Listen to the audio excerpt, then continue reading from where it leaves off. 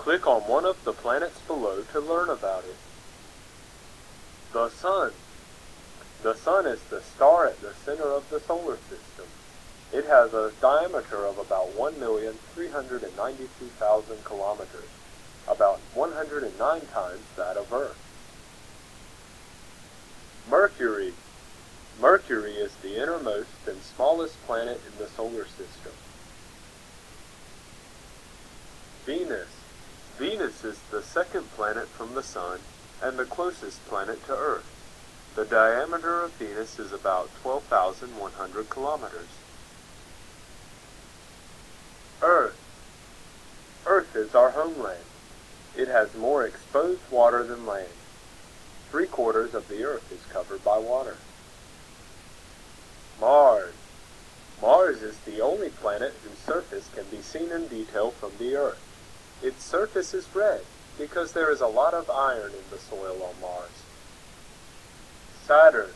Saturn is the sixth planet from the Sun, and the second biggest planet.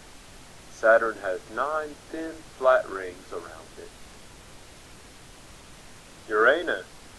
Uranus is the coldest planet in the solar system.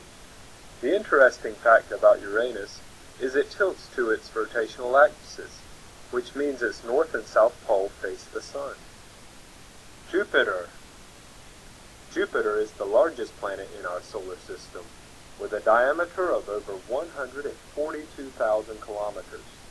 Jupiter is classified as a gas giant, along with Saturn, Uranus, and Neptune. Neptune. Neptune is a sea blue planet due to the methane gas in its atmosphere.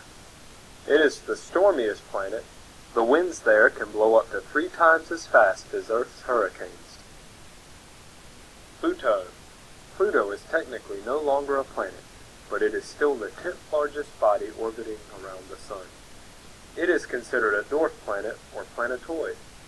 Its diameter is about 2,230 kilometers, which is smaller than our moon. Pluto itself has three moons,